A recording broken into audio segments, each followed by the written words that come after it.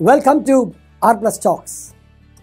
Just when we thought and believed that our education endeavors are only for the sole palpable purpose of landing a job in our chosen field, a promotion, a title, etc., or for acquisition of knowledge, out of the blue, yes, literally out of the blue, and you will understand the connection as this interview goes on, comes along a young edupreneur who shifts our paradigm. And he, Roshan Gandhi, quotes, and I'm quoting him verbatim the innate value of education is not that it is a means to any end, but that it is an end in itself. Welcome. Thank you very much. Thank you for having me. It's a pleasure. From Lucknow to Oxford to UCL to Cambridge and back to Lucknow. A privileged education, a homecoming of sorts, return to roots. Tell us about it. well, I was born and raised in the UK, so I was um, I grew up mostly in London and then Cambridge, the city of Cambridge. Finally studied at the University of Oxford, and then uh, came out here because I really wanted to get involved in the education field. I felt that there was a potential for a huge impact in education in this country, um, and it's something that I was really passionate about. So I felt that I should come out here, join my family in the City Montessori group of schools, uh, and work for the betterment of the education sector here. So you've studied in the West, and uh, now you're giving that knowledge here in the East, right? So between the West and India, what, according to you, would be the key differentiators, both pedagogical and administrative, mm. in the educational field? Well, that's a very interesting question. I think uh, both cultures and both uh, educational paradigms have good things to learn from one another.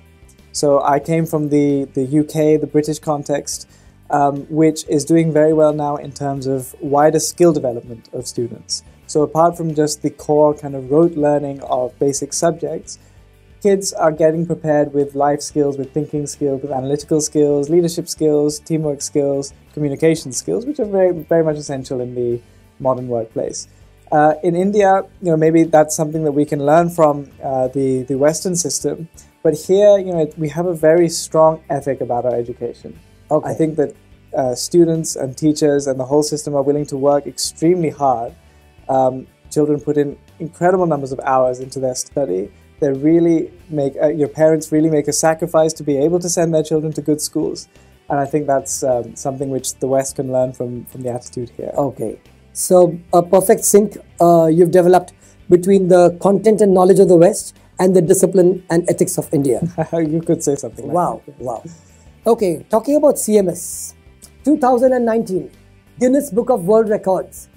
CMS has become the largest school in terms of pupils. A record enrollment of 55,547 pupils on 16th January. Am I right? That's correct. Yes and uh, that too for the 2019-20 academic year. A stupendous feat. Considering the fact that CMS started with five students on a shoestring budget of 300 rupees? well, yes, CMS was started 60 years ago this year, so we're celebrating our Diamond Jubilee this year. Founded Congratulations. By, thank you very much. Thank you founded by uh, Dr. Jagdish and Dr. Bharti Gandhi, a husband and wife uh, visionary couple who happened to be my grandparents as well. Wow. And um, yes, they, they at that time they had no money, no resources at their disposal. So they started with a borrowed capital of 300 rupees, borrowed from a friend of theirs, in their little um, in the little home that they had in just the front room there. Uh, and in order to get students, my, my grandparents walked around the city banging a banging a drum saying, "Please send children to our school." Oh, and after God. much of that work, they got five children. So they started with five children, 1959, 300 rupees, just the two of them in this small room. A journey from five to 55,000. Yes. So I, it's been a journey of a lot of hard work, a lot of struggle, a big vision, um, and I think just pure passion for the field of education, just focusing relentlessly on giving the best quality that they can uh, and thanks to giving that quality, I think admissions have followed naturally. It's sheer luck that I'm sitting here with you and sharing that passion. I mean, 55,547 students across the campus and all ICSE. Yes. Fantabulous. Non scholae sed vitae discimus. not for school, but for life we learn. You've consistently striven to provide a holistic education to your students at CMS. You've seen it all, as I said the West, the East. So, technology is the perfect facilitator, but a bad master. Yes, technology is absolutely not the master. The human element of the teacher will always remain the master. So, every teacher should know that. Yes. Fantastic. Uh, Plato, it was who said, Music gives a soul to the universe. I know you're going to love this question. Wings to the mind, flight to the imagination, and life to everything. CMS is affiliated with the Associated Board of the Royal Schools for Music, London, patronized by none other than Her Majesty Queen Elizabeth II of England and the Wales. Your passion for music, Roshan, stretches beyond the boundaries of imagination. Tell us about it. Well, yes, we are pleased at CMS that we have tied up with the ABRSM, the Associated Board of the Royal Schools of Music, which is uh, one of the leading examination boards for music in the world, which has enabled us to facilitate uh, individual Western classical music training of our students in Western classical uh, vocals and in Western classical violin. Um, so that's and through that we have uh, generated orchestral performances in the Western classical mode, which I think is a first in UP which uh, is some, an opportunity that we're providing to our children. Absolutely. We're very proud of. On a personal basis, um, I do have a musical background actually. In a, you could say in a past life I was a musician. Um, I, am predominantly a singer, but I also play um, the piano, the violin, the guitar. Terrific. yes. So it's all out of the blue? right? I see. Okay. I see what you're doing there. Yes. Yes. I was in a, an a cappella group uh, named Out of the Blue. Um, we uh, we had a few viral hits online at the time. This was back in the university days. Um, and we did, we toured around the world. We, we generated a lot of um, money which we donated to charities. So That's something amazing that you all have done. I was just watching all that and reading about that. Yeah. Well, thank you very much. uh, yes, it, it, was a it was a good time. You know, the, there were this group of fifteen boys. Um, we used to yeah. travel around singing all over, you know, the US, yes. Europe, uh, Asia even. Yes. And uh, we, we did donate uh, quite a lot of money to charity. We supported a children's hospice in Oxford. Terrific.